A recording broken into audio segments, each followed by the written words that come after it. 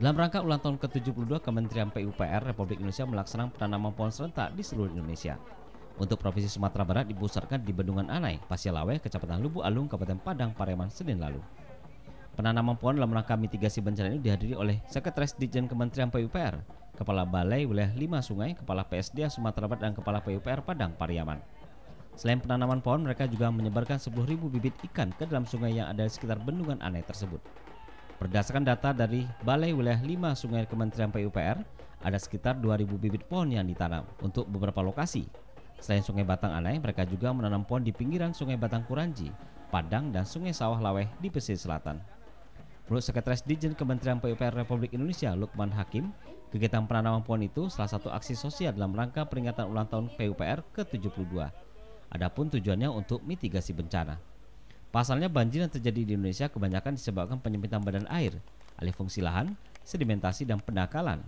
Maka diperlukan kesadaran masyarakat melestarikan sumber daya alam yang ada.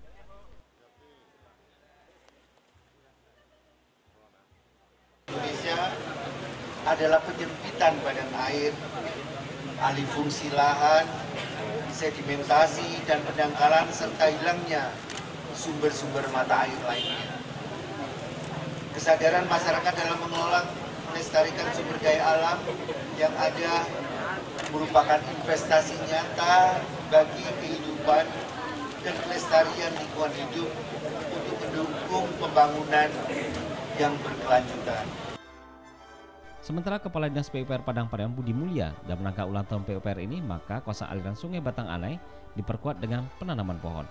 Selain itu, dalam rangka mitigasi bencana, pemerintah Kabupaten Padang Pariaman juga berupaya mendapatkan bantuan dari Kementerian PUPR untuk membangun infrastruktur karena Padang Pariaman daerah rawan bencana. Dalam rangka berbakti PU ini, ini daerah aliran sungai ini kita perkuat dengan penanaman pohon. Masih banyak lagi sesuai dengan yang disampaikan oleh Pak Bupati tadi, bahwasanya masih banyak lagi lokasi yang perlu kita laksanakan untuk perkuatan atau pengamanan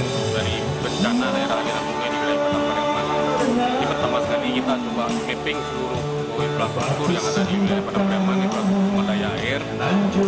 Pada umumnya wilayah Padang Pariaman adalah merupakan uh, wilayah bencana, jadi ini kajian yang menyeluruh sehingga bisa nanti kita Dari Padang Pariaman, Eka Gus Priadi, iNews melaporkan.